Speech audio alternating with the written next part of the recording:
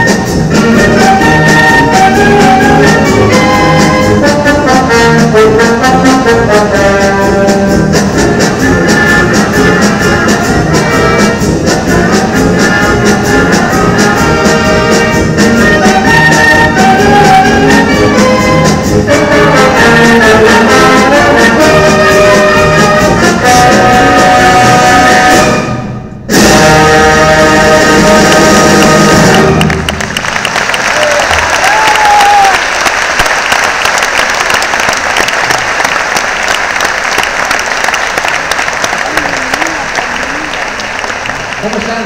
Muy buenas noches. Qué privilegio, la verdad, coincidir con ustedes. ¿Qué tal? ¿Qué tal? Qué gusto ver tanta gente conocida, gente que sigue la trayectoria de Tampico y sobre todo de nuestros queridos homenajeados. Marisa, ¿cómo estás? Buenas noches. Muy bien, Oscar, muy buenas noches y muy buenas noches a todo el público que esta noche nos está acompañando, esta tarde preciosa en la que obviamente estamos todos reunidos para festejar, para celebrar a esta banda municipal de Tampico, que es toda una tradición en nuestra ciudad y que además ha difundido la cultura a través de muchos años. Hoy nos vamos a transportar, qué emoción. Claro. Haremos un recorrido extraordinario y quiero saludar a toda la gente que está en casa, a toda la gente de la República Mexicana, a la gente por supuesto que hoy acudió a este precioso escenario, a este orgullo de nosotros, el espacio cultural metropolitano. Gracias, por cierto, por las facilidades que nos dan y qué orgullosos nos sentimos de tener un teatro como este en nuestro querido Tampico hermoso. Por supuesto. Y es por ello que este día, precisamente 25 de septiembre, se eligió, se eligió para eh, festejar a la banda municipal de Tampico. ¿Por qué? Porque es muy merecido el homenaje que este día se está dando y qué bueno que todos los tampiqueños, los maderenses, los altamirenses, toda la zona conurbada se haya dado cita este día aquí en el Espacio Cultural Metropolitano. Bueno, ¿qué les parece si le brindamos un muy, muy fuerte aplauso a nuestros homenajeados, a nuestra queridísima banda municipal de Tampico? Bienvenidos, pie. Es para ustedes el aplauso.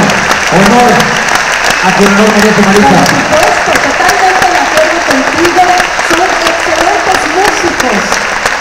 Y además recordar que durante muchos años han surgido muchos Muchas y gracias. muy buenos músicos.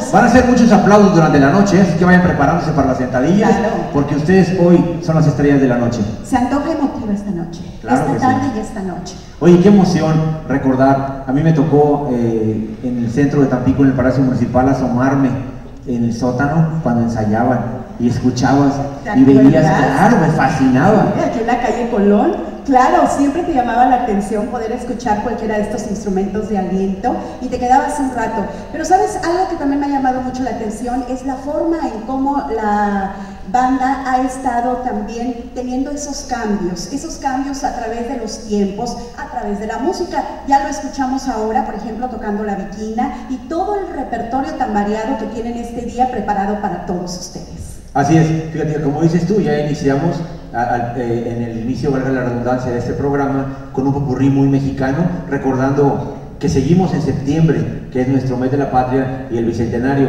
Y bueno, también recordarle a cuánta gente no se enamoró a, a los acordes de la banda, caminando en la plaza principal. Eh, de un lado me platican, mi mamá y mis abuelos platicaban, mi mamá recientemente, que le mando un beso, que siempre caminaban los hombres hacia un lado y las mujeres para el otro. Y qué emoción ha de ser caminar y cruzarte con la mujer de tus sueños. ¿Quién se iba a imaginar que hoy están al lado, uno al otro?